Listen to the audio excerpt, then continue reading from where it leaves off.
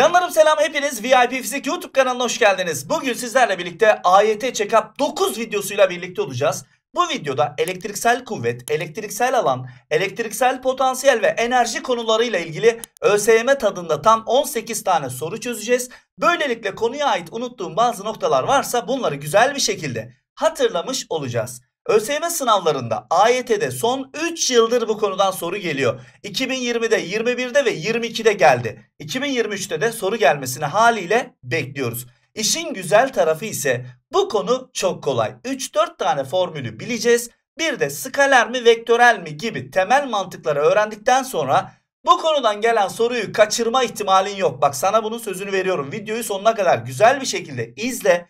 2023'te gelen soruyu doğru bir şekilde çözeceksin. Yani olayın basitliğini şöyle anlatmaya çalışayım. Sözel öğrencileri bile bu videoyu sonuna kadar dikkatli bir şekilde izleseydi sınavda gelen soruyu kaçırmazdı. O kadar söylüyorum. Sözü daha fazla uzatmıyorum. Güzel bir, yüksek bir enerjiyle videomuza başlayalım. Konumuza başlamadan önce sorumlu olduğumuz kazanım ve kavramlara kısaca bir göz atalım. Yüklü cisimler arasındaki elektriksel kuvveti etkileyen değişkenleri belirler. Noktasal yüklerde buraya dikkat edin çünkü hala piyasada bazı soru bankalarında küresel cisimlerin elektriksel potansiyeli ve elektriksel alanı ile ilgili sorular var. Kesinlikle müfredat dışı. Biz sadece noktasal yüklerden sorumluyuz. Noktasal yüklerin elektriksel kuvvetini, elektrik alanı ile ilgili hesaplamalar yapacağız. Yine noktasal yükler için elektriksel potansiyel enerji ile de ilgili ve elektriksel işle de ilgili hesaplamalar yapacağız. Bu kavramları öğreneceğiz. Daha sonra eş potansiyel yüzeyleri ile ilgili bilgiler öğreneceğiz. 2021'de gelen soru buradan geldi. Elektriksel iş ile ilgili de hesaplamalar yapacağız. Sözü daha fazla uzatmayalım ve videomuz başlasın. Şimdi elektriksel yükleri sırasıyla artı Q ve eksi 3Q olan özdeş K ve L iletken cisimleri şekildeki konumlarında tutulurken K'nın L'ye uyguladığı elektriksel kuvvet F'tir. K ve L birbirine dokundurulup yeterince beklendikten sonra ilk konumlarına tekrar getiriliyor. Buna göre K'nın L'ye uyguladığı elektriksel kuvvet nedir? Ne demiştim? Bu konuyla ilgili en önemli kavram 1. Formülleri bilmemiz gerekiyor. 2. Vektörel bir kavram mı yoksa skaler bir kavram mı? Bunu bilmemiz gerekiyor. Bu neden önemli? Çünkü vektörlerde yön çok önemlidir. Yani mesela sağa doğru 3 var. Bir de sola doğru 3 var. Bunlar birbirini götürüyor ve sonuç 0 çıkıyor. Vektörel kavramda iki tane zıt 3 0 verir. Ama skaler bir kavramda iki tane 3 6'yı verir. Başka bir şey verme şansı yok. İşte bundan dolayı vektörel ve skaler kavramları çok önemli. Elektriksel kuvvet ve elektriksel alan vektöreldir. Dolayısıyla da yön çok önemlidir. Elektriksel potansiyel ve potansiyel enerji de skalerdir. Bunlarda yön yok. Vektörel kavramlarda artı ve eksiyi formülün içerisine sokmuyorsun. Çünkü artı ve eksi sana sadece yönleri söylüyor. Yani bu bunu itecek mi çekecek mi bunun yönünü söylüyor.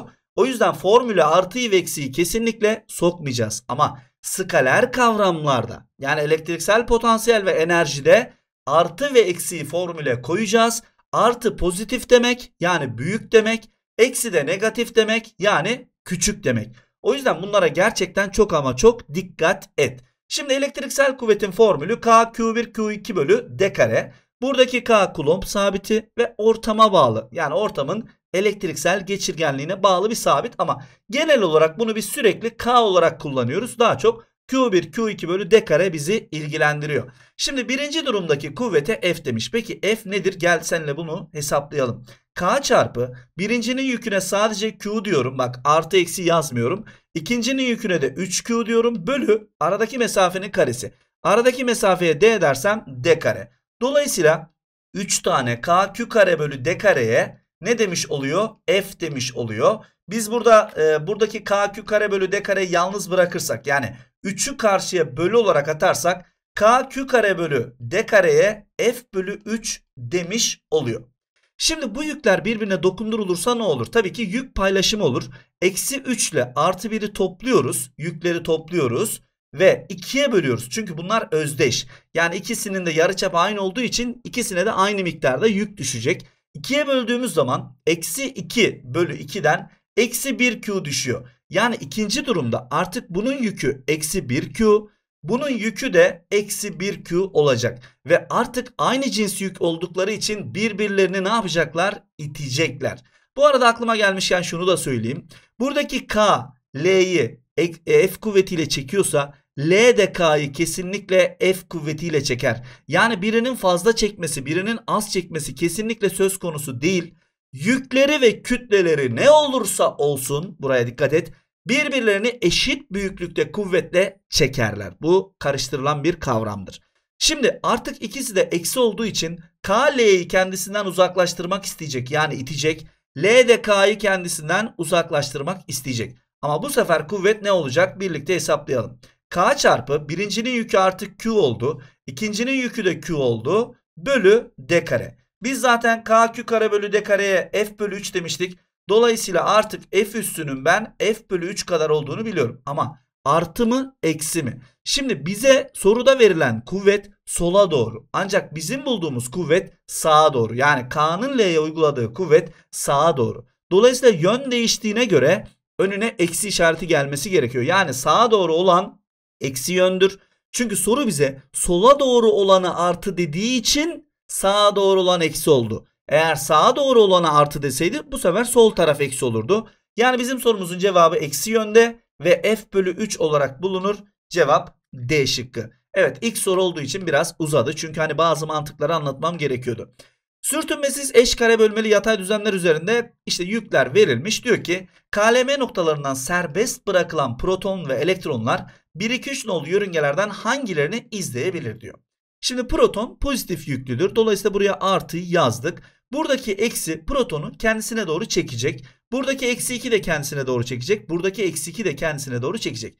Bu eksi 2'den dolayı proton bu tarafa doğru düz bir şekilde ilerlemek isteyecek. Ancak buradan geçerken yukarıdaki eksi 1 diyecek ki artıyı kendisine doğru çekmek isteyecek. Yani eksi artıyı çeker. Yukarı doğru bir miktar çekecek. Ama aşağıdaki eksi 2 daha büyük olduğu için sonuçta yukarıdaki eksi 1 aşağıdaki eksi 2. Eksi 2 buradaki artıyı yani protonu buradan geçerken daha çok çekecek. Dolayısıyla yukarının mı dediği olur aşağının mı? Aşağı taraf daha büyük. O zaman yukarının önemi kalmıyor. Yani bu yük aşağı doğru ve sağa doğru hareket ediyor. Aşağı doğru ve sağa doğru demek de ikisinin arasından yani bu yönde hareket etmesi anlamına geliyor. Bu doğru. Buraya geldik.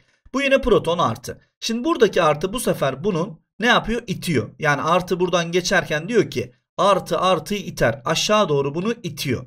Ancak buradaki artı 2 daha çok itiyor. Dolayısıyla yukarı doğru olan kuvvet kazanıyor. Yani bunun bir pek bir önemi kalmıyor. Yukarı doğru bir kuvvet var. Bir de buradaki eksi buradaki artıyı kendine doğru çekiyor. Haliyle yukarı doğru ve sağa doğrunun bileşkesi yani şu aradan gitmesi gerekiyordu. Yani bu protonun şöyle gitmesi gerekiyordu. Aşağı doğru gidemez. Bu yanlış. Buraya geldiğimizde bu bir elektron yani eksi. Şimdi buradaki eksi buradaki eksiyi itiyor. Yani bunun kendisine doğru gelmesini istemiyor. Buradaki eksi de buradaki eksiyi itiyor. O da istemiyor bunun kendisine gelmesini.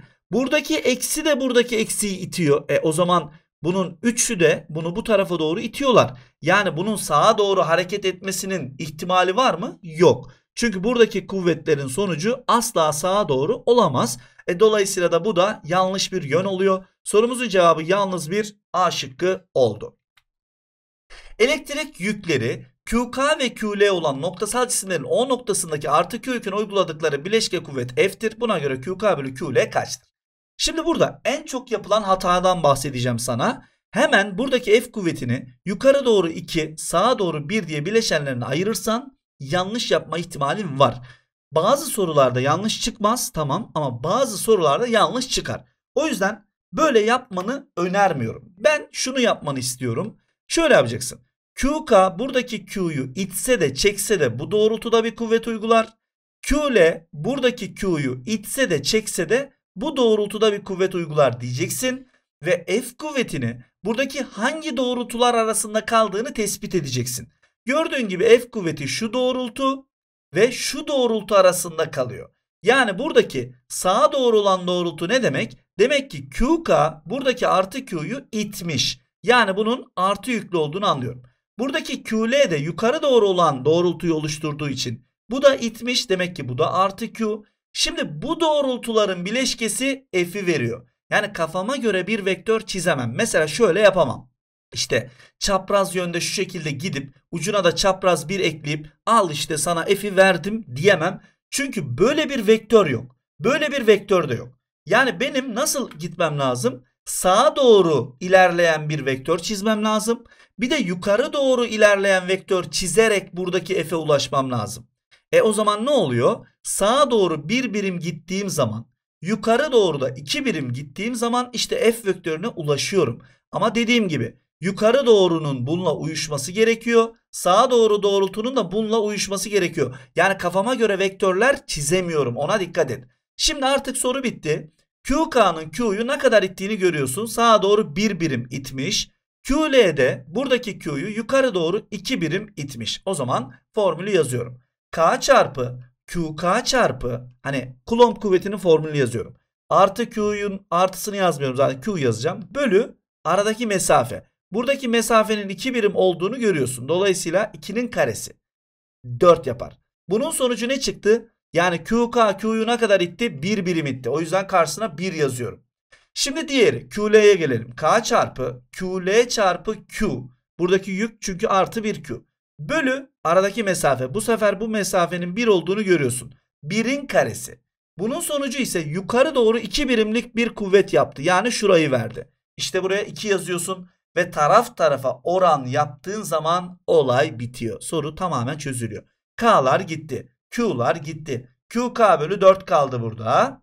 Çarpı QL bölü 1 de 1 bölü QL diye ters dönüyor. Burası da 1'in 2'ye oranı 1 bölü 2 oluyor.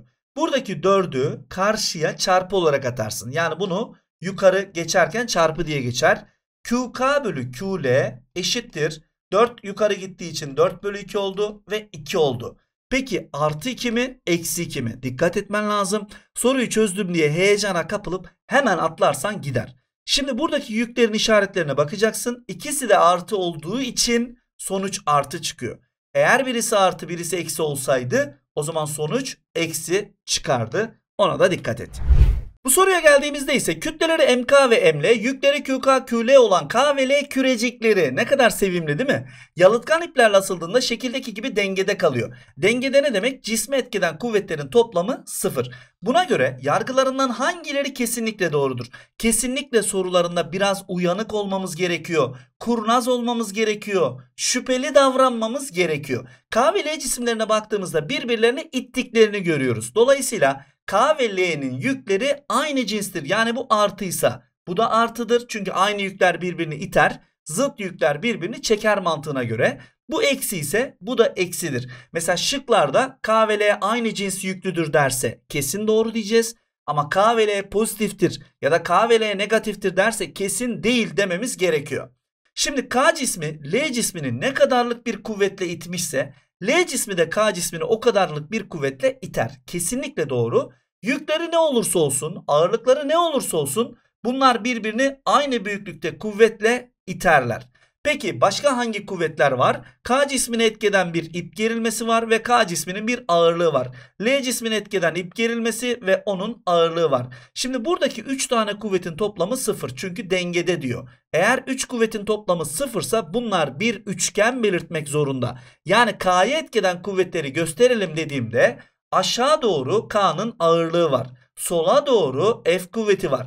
Çapraz bir şekilde de ip gerilmesi var demem gerekiyor. L'ye etkeden kuvvetler bu sefer de sağa doğru bir F kuvveti var.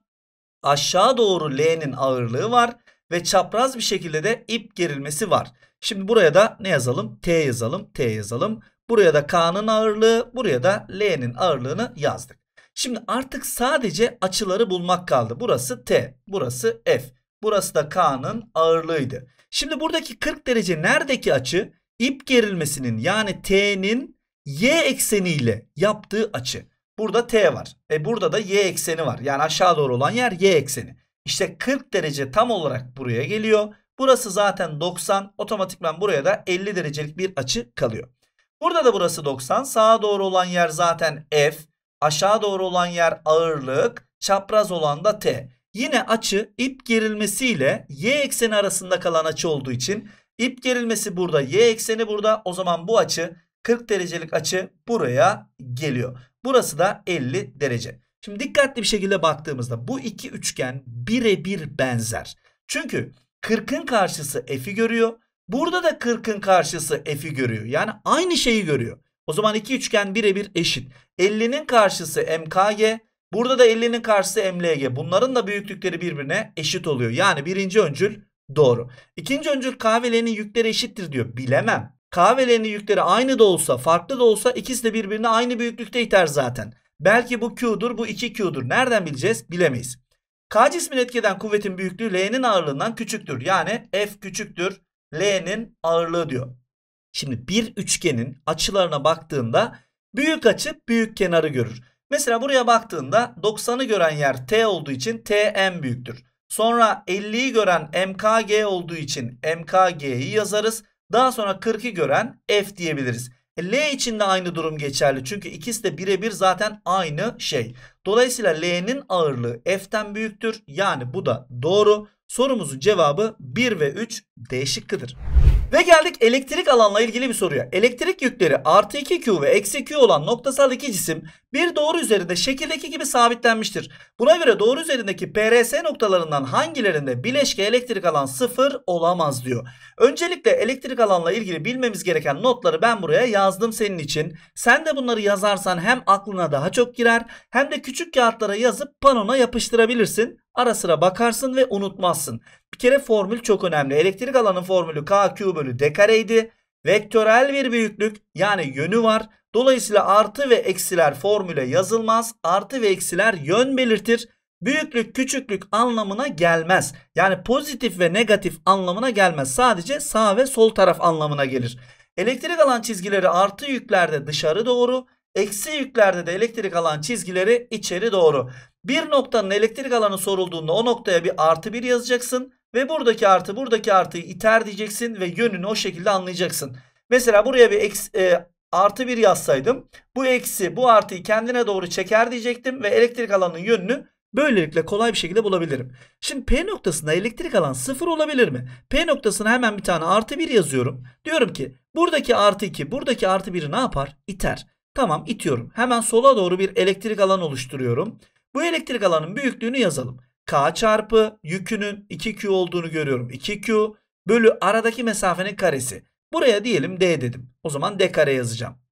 Peki bitti mi bitmedi. Çünkü eksi Q yükü de P noktasında bir elektrik alan oluşturuyor. Bu eksi olduğu için buradaki artı biri kendine doğru çekiyor. Yani sağa doğru bir elektrik alan var. Peki büyüklüğü nedir? K çarpı yükü Q kadar bölü aradaki mesafe. Buradan burası baya bir mesafe. Diyelim 3D yani kafadan attım. 3'ün karesi ne yapar? 9D kare yapar. Şimdi sağa doğru 1 bölü 9 var ama sola doğru 2 var. E eşit mi? Değil. O zaman sağ taraf sol tarafı götüremez. Yani burada sonuç 0 çıkmaz. Dolayısıyla da sonuç sola doğru olur. Kısacası burada 0 olamaz. Peki gelelim R noktasına. R noktasına hemen bir artı 1 yazıyorum. Bu artı 2 bu artı 1'i ne yapar? İter. Tamam kaçla iter? Diyelim burası d kadar. K çarpı 2Q bölü d kare ile iter. Peki eksi Q buradaki artı 1'i ne yapar? Kendisine doğru çeker. Sonuçta 1 eksi 1 artı. İki tane vektör de sağa doğru olduğu için bunların birbirini yok etme ihtimali zaten yok. Yani burada sonuç sağa doğru çıkar. Sonuç 0 çıkamaz. R noktasında da bileşke elektrik alan 0 çıkamaz. Peki S noktasında olabilir mi? S noktasına artı 1 yazıyorum. Eksi artıyı ne yapar? Kendisine doğru çeker. Şöyle yaptım. Peki buradaki artı 2Q buradaki artı 1'i ne yapar? İter. Dolayısıyla onu da şöyle gösterdim. Peki bunlar eşit olabilir mi? Hemen onu inceliyorum. K çarpı 2Q bölü yani şuradaki yükün bu S noktasına uzaklığı baya bir mesafe var. Ben buna D1 diyorum. D1'in karesi eşittir. Eşit olabilir mi ya da diyelim. Diğer yük neydi? K çarpı Q bölü onun buraya mesafesi daha yakın. Yani D2 diyelim. Buna da D2'nin karesi diyelim. Şimdi burası 2 yani büyük. Burası da büyük. Yani D1 D2'den büyük tamam. Ama Q1 de Q2'den büyük. Dolayısıyla bunlar birbirini ne yapabilir? Sadeleştirebilir. Eğer bu aşağısı da 2 ise bunun ikisiyle bu 2 gider. Mesela yukarısı 1 iken aşağısı da 1 ise Bunlar da birbirini götürür ve bunlar birbirine eşit çıkabilir. Yani S noktasında bileşik elektrik alan sıfır olabilir Ama P ve R noktalarında 0 olamaz diyeceğiz. Eşkenar üçgenin köşelerinde şekildeki gibi sabit tutulan yükler verilmiş. Bana diyor ki K noktasındaki bileşke elektrik alanının L'deki alana oranı nedir? Hemen K noktasına artı 1 yazıyorum. Elektrik alanı bulmanın en kolay yolu budur.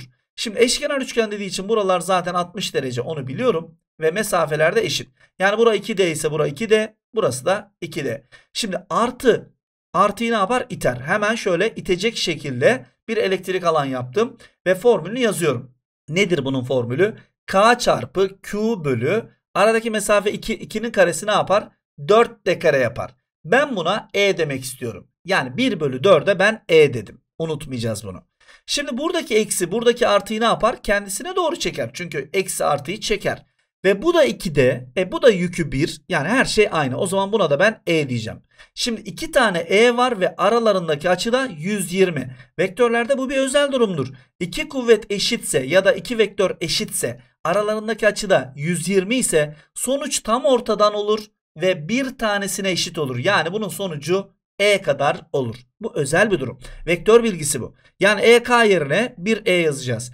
Peki L noktasını soruyor. Buraya da hemen artı 1 yazdım. Şimdi buradaki artı buradaki artıyı ne yapar? İter. Yani sağa doğru bir elektrik alan var. Ama sağa doğru ne kadar? Hemen yazalım. K çarpı Q bölü bu sefer burası D kadar. D'nin karesi. Şimdi K Q bölü 4 D kare yani 1 bölü 4'e ben E dediysem. E şimdi bu 1 olduğu için yani şunun kaç katı? Şunun 4 katı. Yani ben buna 4E demem gerekiyor. Şimdi buradaki eksi de buradaki artı 1'i ne yapar? Kendisine doğru çeker. Yani bunun da yönü bu tarafa doğru. E bunun da mesafesi D. Yani o da aynı şekilde KQ bölü D kare. O zaman ona da ben 4E demem lazım. Bu da 4E idi. Dolayısıyla bunlar 8 yapar. Bu sorunun cevabı da 1 bölü 8 olarak D şıkkı bulunur. Eşit bölmelere ayrılmış bir düzleme yerleştirilen elektrik yüklü X ve Y noksal cisimlerinin O noktasında oluşturduğu elektrik alan E'dir. Buna göre hangileri doğrudur?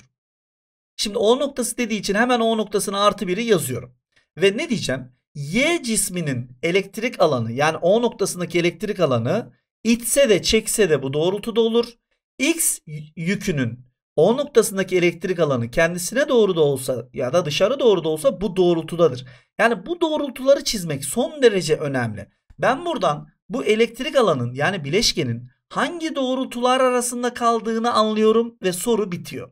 İşte sağ çapraza olan doğrultu bunun artı yüklü olduğunu söylüyor. Çünkü buradaki artı biri itmiş. Aşağı doğru olan doğrultu da bunun artı olduğunu söylüyor. Çünkü o da itmiş. Yani ikisinin de pozitif yüklü olduğunu anlıyorum. Mesela bu doğru bir bilgi. Şimdi x cisminin yük miktarı y'den küçük mü büyük mü bunu nasıl anlayacağız? Şimdi bu doğrultulardan yani bu sarı doğrultulardan bileşke elektrik alanı oluşturmaya çalışacağım. Bak kafama göre bir vektör çizemem. Bu doğrultularda çizmem lazım. Bir tane şu şekilde gidersem bir tane de aşağı doğru gidersem çünkü sarı doğrultu aşağı doğru ve tam E'yi verdiğini görüyorum. İşte çapraz bir gittiğimde bu Y'nin elektrik alanıdır. Dolayısıyla Y'nin elektrik alanı kök 2 kadardır.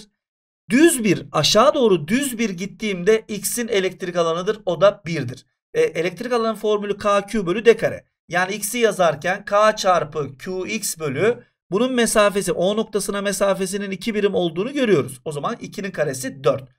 Y'nin elektrik alanını yazarken de burası kök 2 kadar burası da kök 2 kadar. Yani 2 kök 2. 2 kök 2'nin karesini alacağız D kare yaparken. E 2 kere 2 4 kök 2 kök 2 de 2 yapıyor 8 yapar.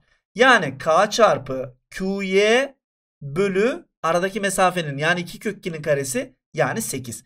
Burada içler dışlar çarpımı yaparsam K'lar zaten önemsiz ikisinde de aynı. Ben buradan QX'in 4 olduğunu yani bununla bunu çarpıyorum.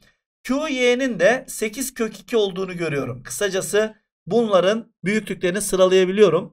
X'in yükü Y'den küçüktür. Bu doğru %100 doğru.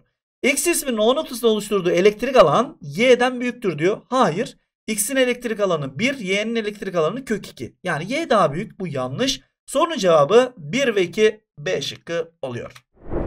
Kütlesi ihmal edilen yalıtkan bir iple tavana asılan yüklü K cismi düzgün elektrik alanı içerisinde şekildeki gibi dengededir. Bak yine cisme etkeden kuvvetlerin toplamı 0. Yani 3 tane kuvvet etkiliyorsa bu kuvvetler bir üçgen belirtiyor. Buna göre yargılarından hangileri doğrudur? Öncelikle cisme etkeden kuvvetleri gösterelim. Bir kere aşağı doğru bu cismin ağırlığı var. Hemen buraya ne diyelim? GK diyelim. Tamam. Bir kere burada çapraz bir şekilde de ip gerilmesi var. Şu şekilde buna da T diyorum. Üçüncü kuvvetinde sağa doğru olması gerekiyor ki bunlar birbirini ne yapsın dengeleyebilsin. Yani F kuvvetinin bu tarafa doğru olması lazım. Zaten bu yükün normalde nerede duracağını biliyorum. Şurada duracağını biliyorum. E bu yükü ne yapmış? Kendisine doğru elektrik alan çekmiş. Demek ki sağa doğru bir elektriksel kuvvet var. Şimdi elektrik alan artıdan eksiye doğrudur. Yani buradaki düzgün elektrik alanın kaynağı aslında burada artı yüklü bir paralel levha var. Burada da eksi yüklü bir paralel levha var ve bunun sonucunda sol tarafa doğru bir düzgün elektrik alan oluşmuş. Düzgün elektrik alan içerisindeki yüklü cisimlere etkeden kuvvet Q çarpı E kadardır. Ve bu gerçekten önemlidir. Şimdi dengede olduğuna göre hemen ben ne yapacaktım? Bunları bir üçgen yapacağım. Aşağı doğru ağırlık var. Sağa doğru kuvvet var. Çapraz bir şekilde de T var.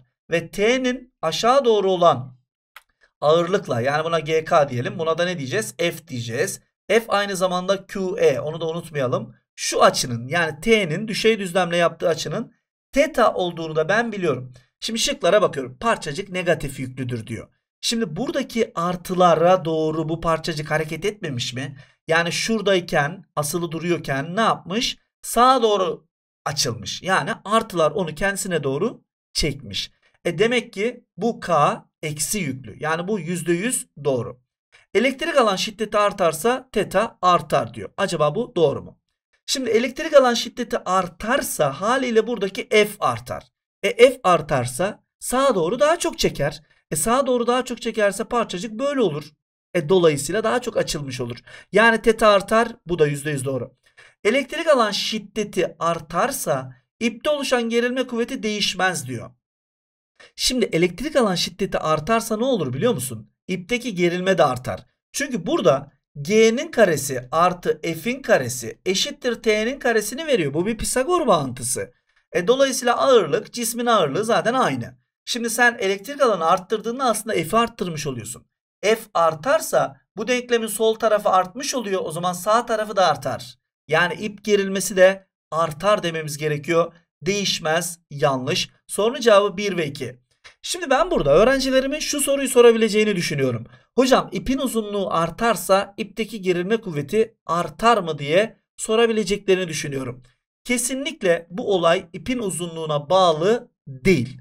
Yani bu ip çok daha uzun dahi olsaydı mesela şu kadar olsaydı yine sağa doğru F kuvveti var diyecektim. Yine aşağı doğru bu cismin ağırlığı var diyecektim. Yine çapraz bir şekilde T var diyecektim. Yani ipin uzaması F'i değiştirir mi? Değiştirmez. Sonuçta F bununla bunun çarpımına eşit. Peki ipin uzaması G'yi değiştirir mi? Değiştirmez. E cismin ağırlığı çünkü. Yani F ve G değişmezse T nasıl değişecek? Yani hiçbir şey değişmiyor ki T değişsin. Dolayısıyla burada ipin uzun ya da kısa olmasının hiçbir şekilde ipin gerilmesini ya da açıyı değiştirme gibi bir durumu yok. Bak buna da dikkat et. Bu sorunun cevabı B şıkkı olacak. Şimdi aklıma bir şey geldi onu bir hatırlatmak istiyorum sana. Şu sorudaydı o. Dur hemen bulacağım. Heh, bu soruda. Şimdi böyle bir soruda bu açıların eşit olduğunu görür görmez bunların ağırlıklarının eşit olduğunu söyleyebiliyorsun. Şöyle düşünüyorsun. Diyorsun ki sonuçta K L'yi F kadar itti. E L de K'yı F kadar itti. Aynı kuvvet ikisini de aynı miktarda uzaklaştırabilmiş. Demek ki bunların ağırlıkları birbirine nedir? Eşittir diyebiliyorsun. Eğer bu açı küçük olsaydı kafadan atıyorum 10 derece olsaydı diyeceksin ki F kuvveti bu yükü fazla uzağa götürememiş. Yani 10 derece küçük bir derece. Mesela şöyle olduğunu düşün. Yani bunu fazla götürememiş. Demek ki bu ağır diyecektin. E o zaman GL büyüktür GK diyecektin. Eğer burası 40 derece değil de 60 derece olsaydı örneğin o zaman da bu kuvvet bu F kuvveti bu yükü çok uzağa itmiş. Demek ki bu hafif bir cisim. Yani o zaman da yani bu açı 60 derece falan olsaydı o zaman da K'nın ağırlığı L'den büyüktür diyecektin. Bak bunlar önemli. Haliyle eğer açılar eşitse ağırlıklar da eşittir demen gerekiyor. E aynı zamanda ip gerilmelerinin yorumunu da yapabiliyorsun. Ağırlıklar eşitse ip gerilmeleri eşit. Hani aynı cismi taşıyorlar. Eğer L'nin ağırlığı büyükse L'yi taşıyan ipin gerilmesi daha büyük. Bu yorumları da hatırlatmış olmak istedim. Aklıma gelmişken duramıyorum ki. Aklıma geleni ben anlatırım. Video isterse 5 saat olsun. Benim öğrencim bu videoyu izlediyse sınavda gelen soruyu kaçırmasını istemiyorum. Benim tek bir amacım var. Başka hiçbir amacım yok. Bu konuyu öğreneceksin. Yani video uzunmuş, kısaymış falan. Bunlarla benim işim çok yok. Elektrik yükleri eksi 15 ve artı 8 olan K ve L noktasal cisimleri bir üçgenin köşelerine yerleştirilmiş. Buna göre hangileri doğrudur diyor. Şimdi elektriksel potansiyelin bir kere skaler olduğunu bileceksin. Yani yön yok. Dolayısıyla artı ve eksiler gerçek. Ne demek gerçek? Artı büyük demek, eksi küçük demek. Artı pozitif demek, eksi negatif demek. Yani sağ taraf, sol taraf demek değil. Dolayısıyla da bu artı ve eksi tabii ki çok önemli. Yani sen bu formüle artıyı ve eksiyi yazacaksın. İşte bunu da yine bir kenara köşeye not edersen senin adına güzel olur. Formül KQ bölü D. Şimdi gelelim soruyu çözelim. K cisminin O noktasında oluşturduğu elektriksel potansiyel L'den büyüktür diyor. K'nın O noktasında oluşturduğu potansiyeli bulalım. E bura 3D, bura 4D ise bura zaten 5D olur.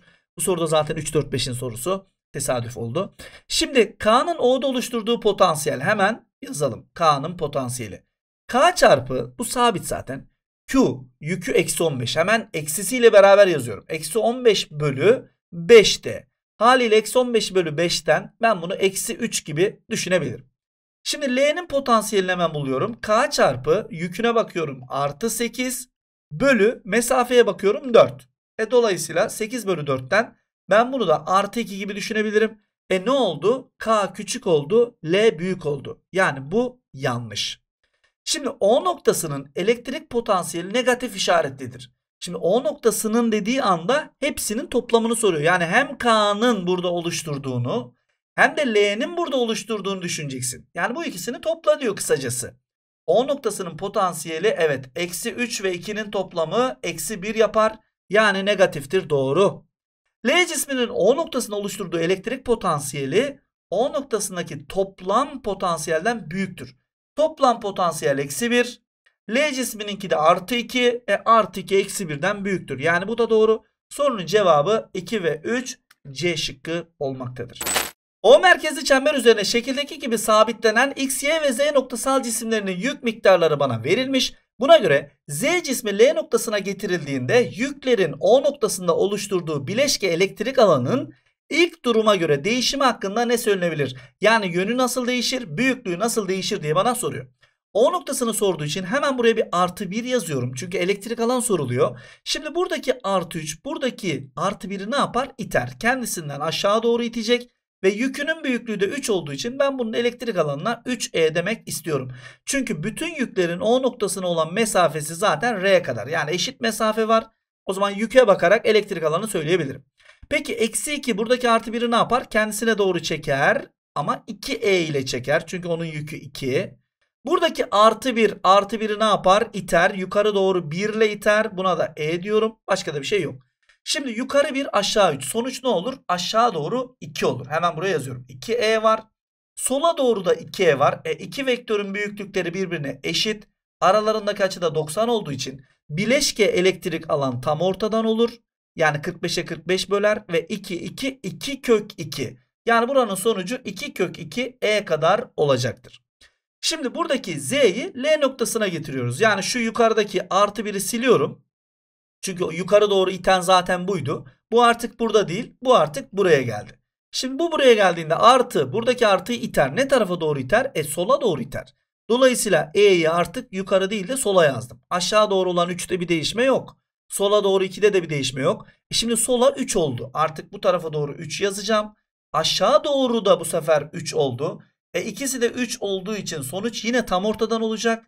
Yani 45'e 45'ten olacak. Ancak bu sefer 3 3 3 kök 2'yi veriyor. Yani bileşke elektrik alanın büyüklüğü artıyor ancak yönü değişmiyor. Sorunun cevabı A şıkkı. Yine sizlerden şöyle bir soru gelebilir diye düşünerek O noktasındaki potansiyel nasıl değişir deseydi. Yani potansiyelle ilgili bir soru olsaydı potansiyel skaler bir kavram olduğu için Z yükü burada olduğunda ya da burada olduğunda O noktasına olan mesafesi değişiyor mu? Değişmiyor.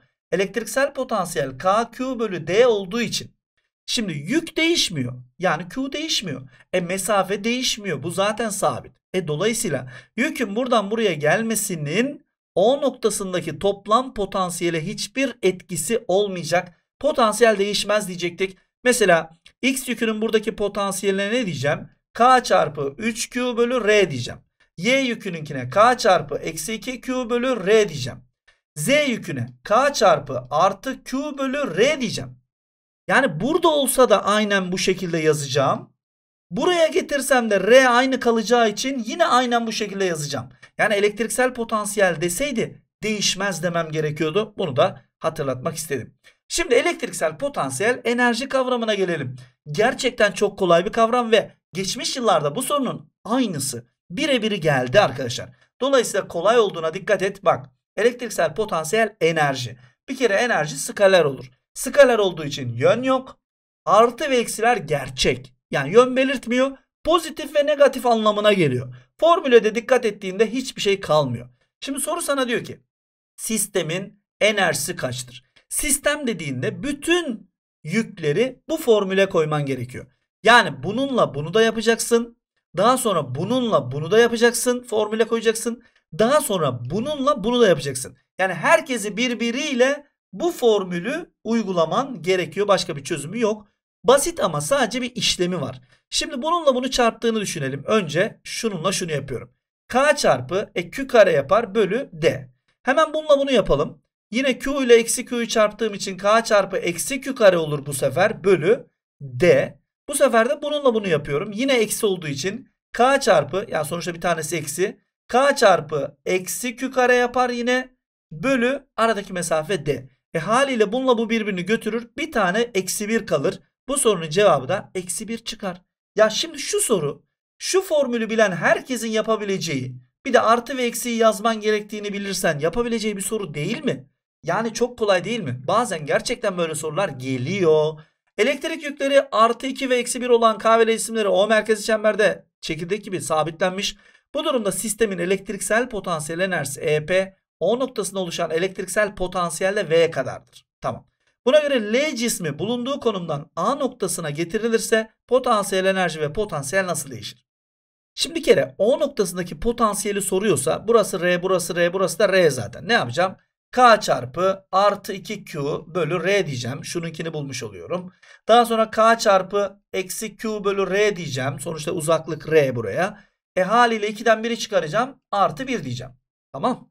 Şimdi sen bu yükü buraya getirdiğinde sonuçta yine eksi 1'in buraya uzaklığı R'ye kadar olmuyor mu? Yani aynı şeyi yazacaksın. E bunu da aynı yazacaksın. Hiçbir şey değişmiyor. Yani elektriksel potansiyeli bir kere değişmez. Şimdi potansiyel enerjiye gelelim. Potansiyel enerji ile ilgili şöyle bir yorum yapabilirsin. Şimdi eğer sistemin o hale gelmesini sen sağlıyorsan enerji artar. Eğer sistemin o hale gelmesini elektriksel kuvvetler sağlıyorsa toplam enerji azalır. Hocam ne demek istiyorsunuz? Şunu demek istiyorum. Şimdi artı eksi bunlar birbirine yaklaşmak ister mi istemez mi? Artı eksiyi çeker. Yaklaşmak ister. Şimdi sen L'yi buraya getirdiğinde bunlar birbirine artık daha yakın olmuyor mu? Eskiden daha uzak değil miydi? Evet. Yani bunu senin mi yapman gerekiyor yoksa elektriksel kuvvetler zaten yakına ister mi? Elektriksel kuvvetler yakına ister hocam. Tamam. O zaman bu işi kim yaptı? Sen yapmadın. Elektriksel kuvvetler yaptı. Elektriksel kuvvetler yaptığında onlar iş yaptığı için onların enerjisi azalır. Yani sistemin enerjisi bu durumda azalır. Mantık budur. Eğer eksi artı değil de artı artı olsaydı o zaman ben derdim ki arkadaşlar artı artıya yaklaşmak ister mi? Hayır istemez. Bizim yapmamız gerekiyor bunu değil mi? Evet o zaman işi ben yaptım. İşi ben yaparsam sistemin enerjisi artar. O zaman gelip buradaki artarı işaretleyecektim. Ama işi elektriksel kuvvetler yapıyorsa yani zaten o yük oraya gitmek istiyorsa o zaman bu iş elektriksel kuvvetler yaptı. Dolayısıyla da sistemin enerjisi azaldı diyeceksin. Niye azaldı? E işi onlar yaptı. İş yapanın enerjisi azalır kardeşim. Bu kadar basit. Mantık budur. Bu sorunun cevabı D şıkkıdır. Umarım açıklayabilmişimdir. Şimdi düzgün elektrik alanın K noktasında bulunan artı Q yüklü parçacık KLMN yolunu izleyerek buraya getiriliyor. Bu yollarda yapılan işleri bana soruyor. Bir kere burada yapılan işin formülü bilmen gerekiyor. Yapılan iş Q çarpı delta V formülüyle bulunuyor. Ve buradaki delta V değişim demek sondan ilki çıkartacaksın. İşte burası çok önemli. Eğer sen bu Q çarpı delta V'yi yaptığında bu işlemin sonucu pozitif çıkmışsa bunun anlamı şudur. İşi biz yaptık. İşi biz yaparsak sistemin enerjisi artar. Eğer bu işlemin sonucu yani yapılan iş negatif çıkarsa o zaman işi elektriksel kuvvetler yapmış anlamına geliyor. O zaman da sistemin enerjisi azalıyor. Bak bunlar hayat kurtaran notlardır. Sınavda soru gelirse var ya bu notlar sayesinde kaçırmazsın. Şimdi gelelim burada K'dan L'ye giderken yapılan işi nasıl bulacağız? Burada düzgün bir elektrik alan var. Düzgün elektrik alanın yönü artıdan eksiye doğrudur. Yani burada artılar var. Burada da eksi yüklü bir paralel levha var. Ve bu paralel levha sayesinde bu elektrik alan oluşmuştur. Şimdi artıya yakınsan potansiyelin fazladır. Eksiye yakınsan potansiyelin küçüktür. Yani azalır. Şimdi burada N noktası artıya yakın olduğu için potansiyeli fazla. K noktası da eksiye yakın potansiyeli az. Ve buralarda düzgün bir elektrik alan olduğu için eşit mesafelerdeki potansiyel değişimi eşit oluyor. Örnek veriyorum. Eğer burası artı 30 sa burası artı 20 burası artı 10 yani 1 1 1 giderek azalıyor. Niye azalıyor? Eksiye gidiyorsun. Sonra burası 10 daha azaldı 0. Burası 10 daha azaldı eksi 10 eksi 20 ve eksi 30 şeklinde yazabiliyorsun. Yani düzgün elektrik alan içerisinde artıdan eksiye doğru giderken eşit mesafelerde potansiyel fark yani delta V eşit olacaktır. Şimdi gelelim K'dan L'ye götürüyorsun. Yani ilk konum burası, son konum burası. Buradan buraya giderken hemen yazıyorum. W1 eşittir. Q çarpı e, yükümüz Q'ydu değil mi? Eksi miydi artı mıydı? Onu hemen şuradan şöyle bir bakalım. Artı görünüyor zaten de şöyle bakın artı. Şimdi yazıyorum. Artı Q çarpı delta V. Delta V neydi? Sondan ilki çıkartacaksın. Son dediği L noktası. Yani eksi 10. Dolayısıyla eksi 10'u yazdım. Eksi hani çıkartacağım ya. Peki ilk konum. İlk konum ne? Eksi 30. Yani eksi 10'dan eksi 30'u çıkartacağım. Eksi 10 eksi eksi 30. İşte buraya dikkat et. Eksi eksi artı yapar. Yani burası artı 20 çıkar. Dolayısıyla Q çarpı 20 kadarlık bir iş yapılmıştır diyebiliyorsun. Şimdi L'den M'ye gelirken dikkat et. Bu sefer ilk konum burası oluyor. Son konum burası oluyor. Yani buradan buraya. Sondan ilki çıkartıyorsun. Yani Q çarpı bu sefer ne diyorsun? İlk konumum sondan ilki çıkartacağım değil mi? 20 eksi eksi 10 diyorsun. Yani bu sefer artı 30 yapıyor. Q çarpı 30 kadarlık bir iş yapmış oluyorsun. Üçüncü durumda da buradan buraya gittiğin için yani 20'den 30'a gidiyorsun. Son yer 30 ilk yer 20. O zaman delta V 10 yapıyor. Hani 30'dan 20'yi çıkarıyorsun 10 yapıyor. O zaman Q çarpı 10 kadarlık bir iş yapmış oluyorsun. Yani yapılan işleri kıyasla dediğinde W2 en büyük. Sonra W1 sonra W3. 2, 1, 3 sıralaması sorumuzun cevabı C şıkkı. Burada dediğim gibi delta V yaparken sondan ilki çıkartmaya özen göstermen gerekiyor. Eksi Q yüklü K parçacığı içinde bulunduğu düzgün elektrik alana paralel şekilde şekil 1'deki gibi hareket ettiriliyor. Buralarda bir şeyler anlatıyor ama sorunun sonunda bana diyor ki KLM parçacıklarının hangilerinin hareketleri sırasında elektriksel kuvvetlere karşı iş yapılmıştır? Şimdi elektriksel kuvvetlere karşı demek yani normalde o gitmek istemiyor ama sen götürüyorsun demek. Yani zorla yapıyorsun demek. Ben burada zaten olayı anlattım. Eğer yükü biz götürürsek yani zorla götürürsek işi biz yaparız. Dolayısıyla bakacaksın sen. Burada diyeceksin ki mesela ikinci sistemde eksi artı bunlar birbirinden uzaklaşmak ister mi? Eksi artıyı sever. Yani yanında olmasını ister. Uzaklaşmasını istemez. Çünkü eksi artıyı çeker. Ama sen diyorsun ki hayır kardeşim uzaklaştıracağım diyorsun. Yani bunu senin yapman gerekiyor. İşte burada elektriksel kuvvetlere karşı senin iş yapmış olman lazım. Yani 2 olacak. Mesela burada. Eksi artıya eksi eksiye yaklaşıyor mu? Hayır. Aynı konumda kalıyor. Yani burada R burada R. Yani ha burada oldu ha da burada. Farkı var mı? Yani bir yaklaşma uzaklaşma var mı? Yok. İşte burada yapılan iş sıfırdır. Yani elektriksel kuvvetler de iş yapmadı. Biz de onlara karşı iş yapmadık. Üçüncü sistemde yapılan iş sıfırdır. Birinci sisteme gelince. Şimdi burada elektrik alanı tabi nereden nereye doğru olduğunu bilmek önem arz ediyor. Elektrik alanı artıdan eksiye doğrudur. Yani burası artı, burası eksi. Bunu bilmemiz gerekiyor. Şimdi haliyle buradaki artılar buradaki eksiği kendisinden uzağa doğru gitmesini ister mi? Ya da buradaki eksiler bu eksinin kendisine doğru gelmesini ister mi? İstemez. Eksi eksiği sevmez ki. Ama diyorsun ki sen yok kardeşim diyorsun. Götüreceğim ben.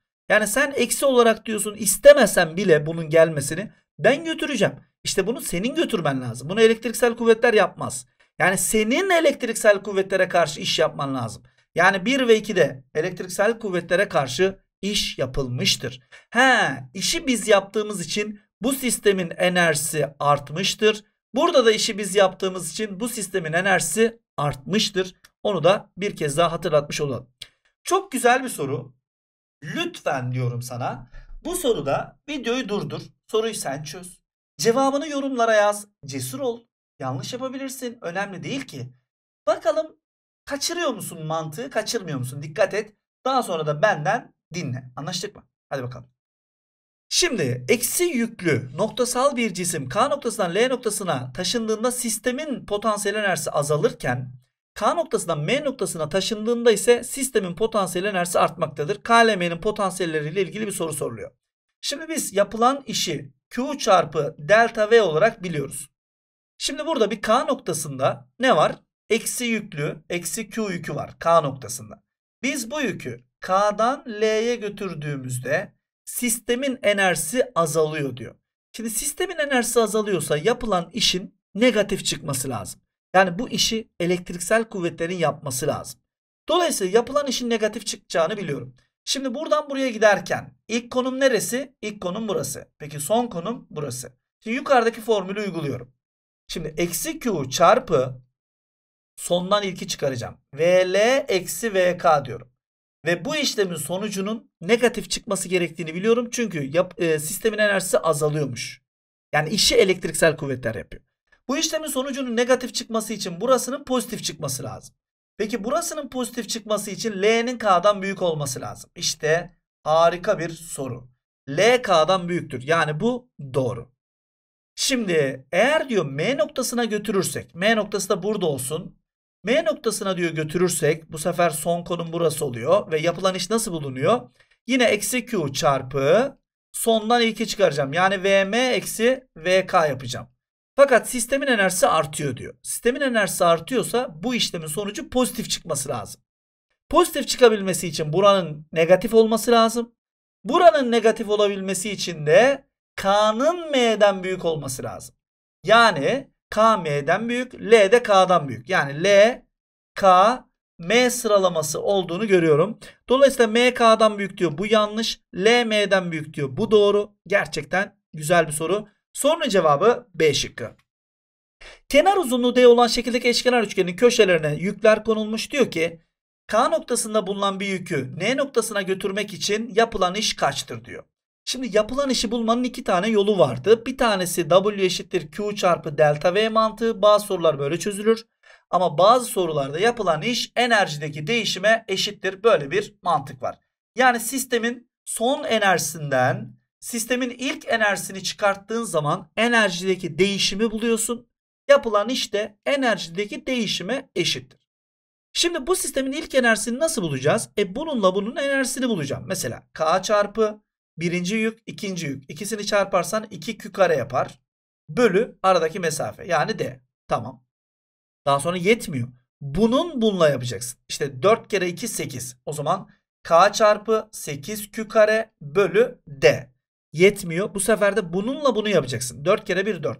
K çarpı 4 Q kare bölü D. Şimdi 2 buradan geliyor. 8 daha 10 14. Yani birinci sistemdeki toplam enerji 14 çıktı. Şimdi K noktasındaki yükü buraya getirdiğin an yani artı 2'yi buraya yazacaksın. Artık burada yok. Tekrar yapacaksın. Yani bunun başka yolu yok. 2 kere 1 2 ama mesafenin D bölü 2 olduğuna da dikkat et. 2 kere 1 2. K çarpı 2 Q kare bölü D bölü 2. Şimdi D bölü 2'nin ikisi yukarı geçecek. Yani aslında bu 4 tane K Q kare bölü D yapacak. Buradan bir 4 gelecek. Şimdi bunun bununla yapacaksın. 4 kere 2 8. Yani ne yapacak? İşte onu da şuraya mı yazayım? 8K Q kare bölü yine D bölü 2 yapacak. Bu 2 yine yukarı çıkacak. Ve 16 e, çıkacak. Yani buradan da bir 16 gelecek. Bitti mi? Bunun bununla yaptım. Bunun bununla yaptım. Bitmedi. Bir de bununla bunu yapacağım. 4 kere 1 4.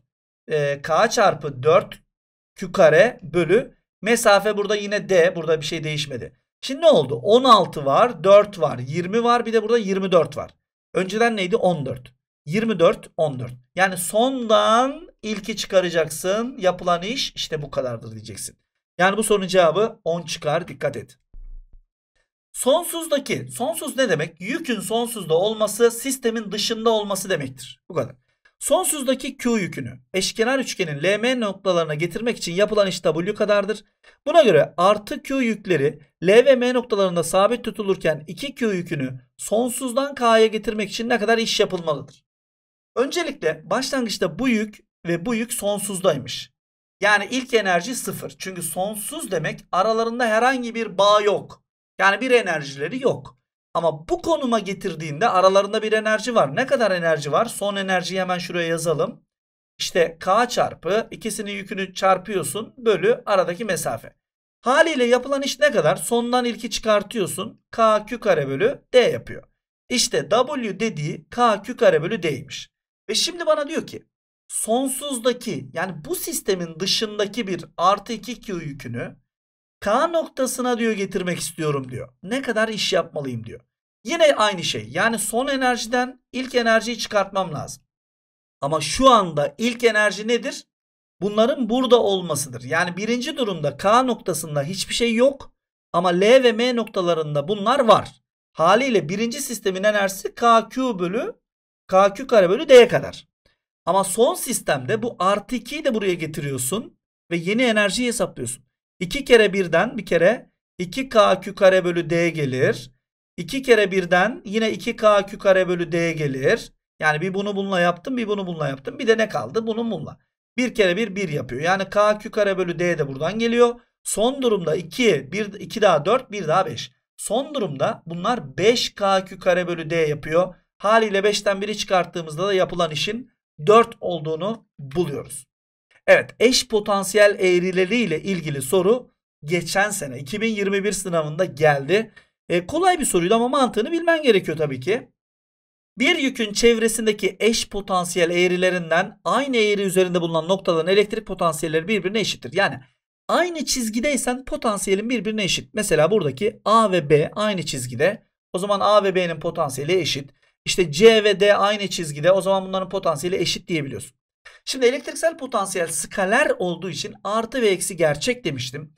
Şimdi burada artı yüke kim yakınsa onun potansiyeli büyüktür. Ama yük eksi ise yüke uzak olanın potansiyeli büyüktür. Yani eksiden ne kadar uzaksan o kadar iyidir. O kadar büyüktür. Yani artı ve eksiye dikkat etmeniz için bu olayı not aldım buraya vurguladım. Sen de bunu not olarak yaz. Artıya ne kadar yakın olursan o kadar büyüksün. Eksiye ne kadar yakın olursan o kadar küçüksün. Mantık bu. Şimdi pozitif yüklü K ve L cisimlerin çevrelerindeki eş potansiyeller verilmiş. Buna göre hangileri doğrudur diyor. Artı Q yüklü bir cisim A'dan B'ye taşımak için. Şimdi artı Q yükünü A'dan B'ye taşıyorsun. Şimdi yapılan iş neydi? Q çarpı delta V. Şimdi A ve B aynı çizgi üzerinde olduğu için potansiyelleri aynı. Yani delta V sıfır çıkar. Değişim yok. Aynı potansiyel. O zaman Q çarpı sıfırdan sıfır. Yani yapılan iş sıfırdır. Bak doğru. Süper. Eksi Q yüklü bir cismi A'dan C'ye taşımak için. Eksi Q yükü. Hemen eksi yazalım. A noktasında bir eksi Q yükü varmış. Bunu C'ye taşımak istiyorsun.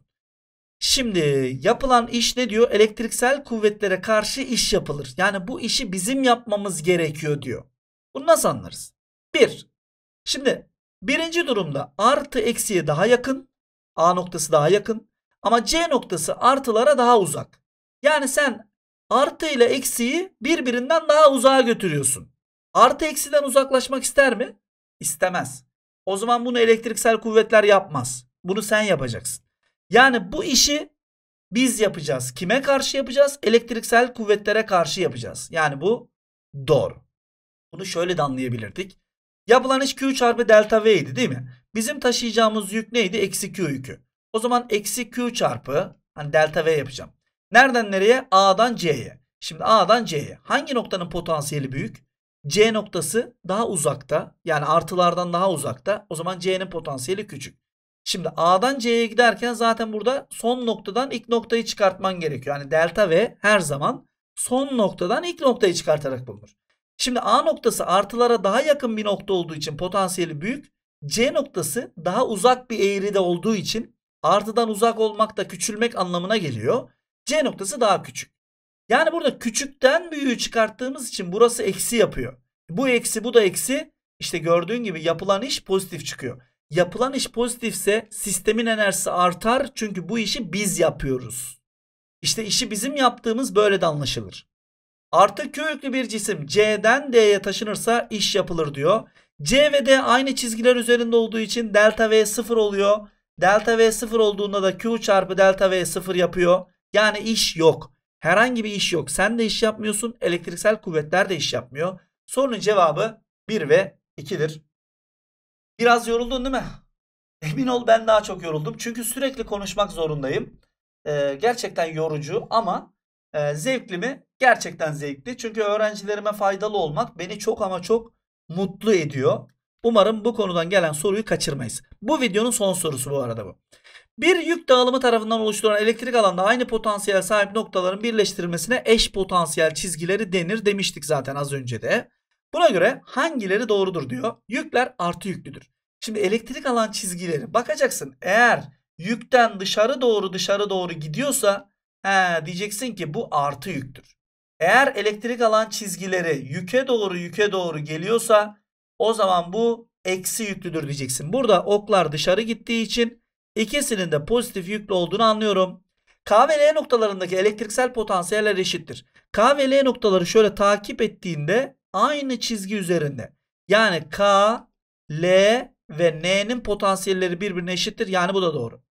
Artı yüklü bir parçacık M noktasından N noktasına taşınırsa elektriksel kuvvetlere karşı iş yapılır.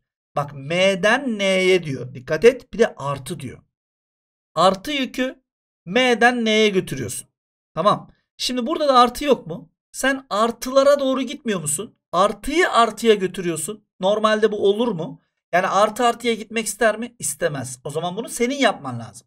Bunu senin yapman da işte elektriksel kuvvetlere karşı iş yapılır demek oluyor. Ve bu işi sen yaptığın için sistemin enerjisi artar da diyebiliyorsun. Yani bu da doğru. İşte bu soruyla birlikte bu videonun sonuna geldik. Umarım faydalı bir video olmuştur. Bir sonraki videoda da paralel levhalar ve sığ konusuyla ilgili sorular çözeceğim. O videoda görüşene dek ve bu videoyu beğendiysen lütfen beğenerek destek olmayı unutma. Kendine çok iyi bak. Allah'a emanet ol. Hoşçakal.